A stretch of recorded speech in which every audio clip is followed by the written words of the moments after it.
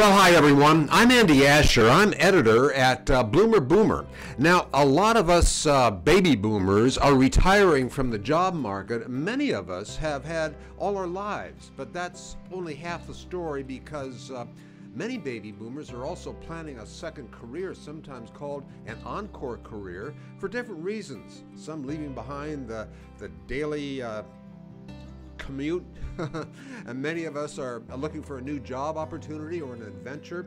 That's why we're talking to the author of a new book, Gary Burnison, a CEO of Korn Ferry, a global organizational consulting firm, and he is a, a New York Times best-selling author. Now, he just released his uh, newest book, Lose the Resume, Land the Job, and I think he'll have some really helpful hints to uh, find that encore career many of us want and need. Now, after all, odds are um, more of us than ever before will be living longer and more active lives than ever and want to do something with all that extra time and, and good health.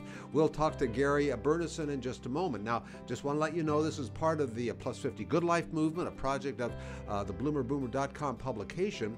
We'll be back with uh, Gary Burnison, CEO and author of the new book, uh, Lose the Resume and Land the Job, right after this. So, Gary, it is so great having you here. Thanks for joining us. Uh, it's great to be here. Yeah. Well, let's uh, let's get that nagging question out of the way first. Uh, I mean, how many of us uh, 60 and uh, 70 year olds will face the age bias in, in finding that encore career? Uh, less today, um, you know, for sure, because the reality is just in the numbers. There are uh, 50 million millennials uh, but there's 75 million uh, baby boomers. So people are living longer, working longer, and whereas that used to be an issue, um, I, I, don't really see it as a as a you know issue today. So it's uh, the hiring folks are accustomed to that. Uh, there's not a reluctance because of that age barrier. Oh, I could care less. I'm a CEO of a company. We've got a couple billion dollars in revenue, 8,000 employees. I had dinner uh, two weeks ago with an employee who's 85 years old. So uh, we don't have a formal retirement policy. And, and I think just, you know, the, the numbers are going to bear it out that people are going to have multiple careers in their life. Yeah. Well, listen. Let's get uh, let's get a little bit a bit of uh, a, a backstory to you. You you're who do you work for, a little bit about uh, your experience uh, in the hiring world, and um, and that'll be really great to know. Yeah, I'm uh, CEO of a public company. It's Korn Ferry. We're an organizational consulting firm. Uh, we operate in 70 countries around the world, and I've really, you know, as a baby boomer myself, I will have worked for five different employers um, during the course of, of my career. And you look at millennials today, they'll, they'll work for 30 different employers over the course of their career.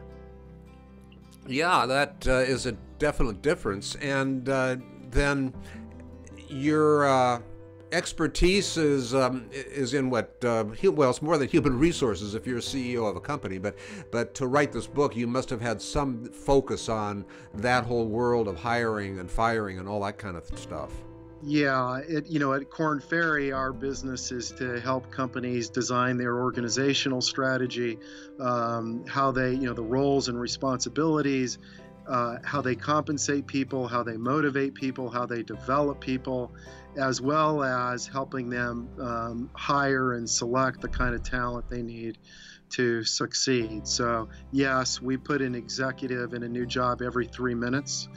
Uh, so we, we know something uh, about uh, careers and development and finding people jobs. Now, an executive uh, who's um, 35 versus an executive who's 65, there's a big age barrier there. You know, what generally speaking would be the difference between the two and, and how one might be better than another or they'll be on an equal footing?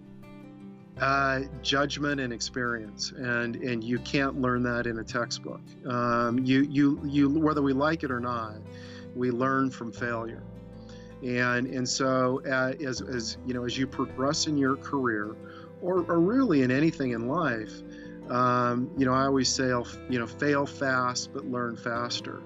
Um, and that is really true that, that the way you grow and learn many, many times is, is through failure. And the longer you've worked, you know, the more chances at, uh, at failure and, and success. You know, I'm uh, in, involved in the digital space and uh, I follow a lot of what the craziness is that goes on in Silicon Valley. And all those people are super, are super young. Um, maybe uh, those of us who are older sh- should uh, kind of steer clear of that?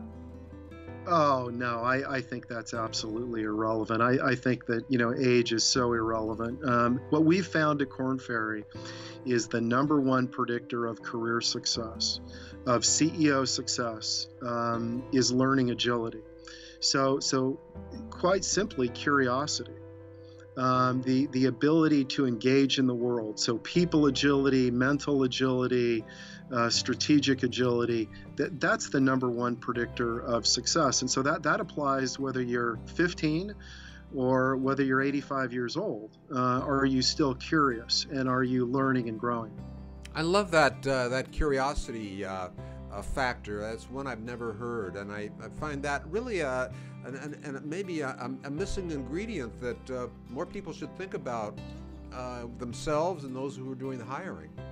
We actually uh, assess for it. so when we um, um, assess executives, uh, one of the things that we're looking at is is their learning agility because we've found it uh, to be a big predictor of success. And and just take take a simple thing like people agility.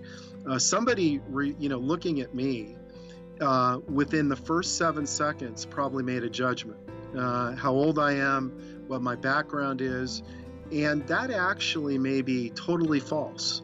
Um, they really don't know anything about me. And so as as a ceo for example uh, i can't make those judgments on people. I have to listen learn and lead um, and so that that kind of curiosity, that agility around learning, uh, people agility is incredibly important.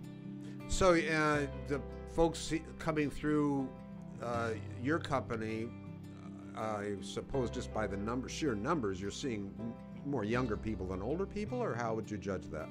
Oh no, no, no, no, no, no, no. It's in fact, if it's if anything, it would be biased more toward uh, older people.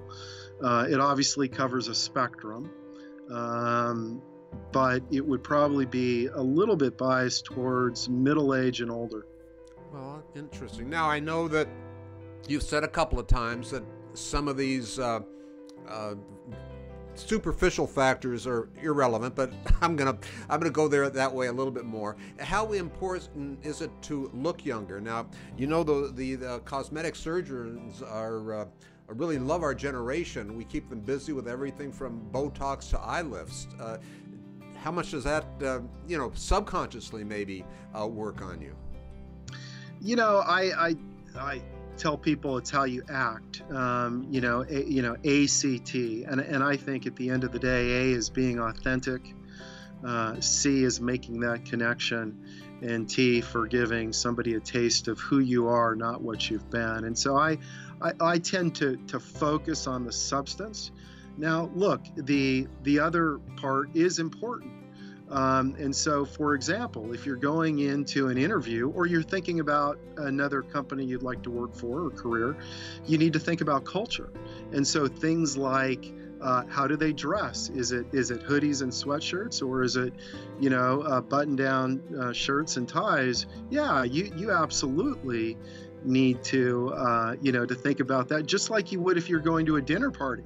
You know your first question you're going to ask is what are people wearing? How should i dress? Well uh, you know th- that's absolutely something you've got to think about in the context of a new job as well yeah, that uh, those are all things that have to be considered, and and really, what does the older worker have uh, going for them other than experience? That, that's really an um, important factor, but uh, maybe not every workplace needs experience. They just need someone to uh, deliver and get the job done.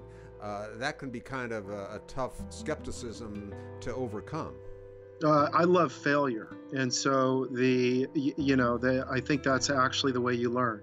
And um, whether it's learning to ride a bike and having to fall off, whether it's learning to drive a car, getting into an accident, or whether it's your career, uh, you know, fail fast, learn faster. So what I what I like about it is that generally people have failed many more times, and with failure comes learning, and with learning comes growth and success. Wow, that's fantastic. Well, listen, Gary, uh, as we uh, wind out of time here a little bit, um, any uh, last minute takeaway that uh, someone who has, say, been in a career for a while, they want a, uh, a new opportunity, want to reinvent themselves, uh, what might be something to, to remember?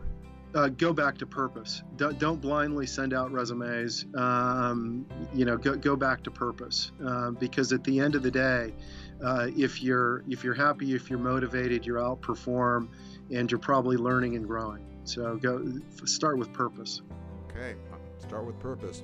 Thanks so much, Gary. Thank you.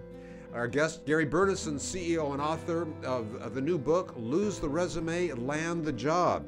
Gary, thanks for joining us. Well, I uh, hope you liked the show and I hope you learned a thing or two. The full show will be available on YouTube and at Bloomer Boomer. The audio version will be available on Apple Podcasts. We have other shows coming up with some amazing guests, so please like us on Facebook and visit us over at bloomerboomer.com. Until next time, so long.